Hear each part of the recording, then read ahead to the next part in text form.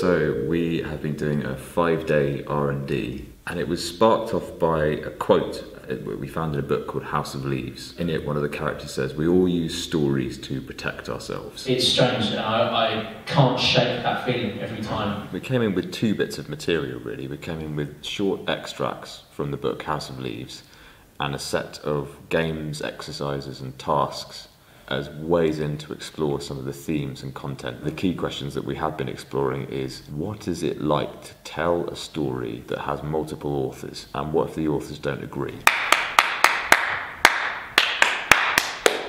We played a lot this mm. week with live projection, sound being incredibly integrated and seeing sound being made on stage. The creative team and the actor devisers have been working completely together. In the room we had five actor devisers, three designers, a poet and a writer slash dramaturg. Stupidly I didn't bring the book with me, like an idiot. Yeah, I think there's something definitely about absence in there for me. Something about loss. If you wanted to categorise it, you could call it grief. Grief seemed to be one of those moments where everything took on a heightened quality, a kind of unreal quality. I think to change the punctuation I'm mark. not sure where we are in the story. Change the punctuation mark from a question mark to a, a full stop. I think the show's at a very exciting, exploratory, open stage at the moment. Simon's done a lot of thinking about it and has a lot of sources that he's drawing on. My hope is that we'll come out at the end of the week with a palette of ideas, theatrical forms, storytelling modes, and design ideas that would be suitable for telling a story that deals with these themes. The book about 800 pages long. We start from the beginning.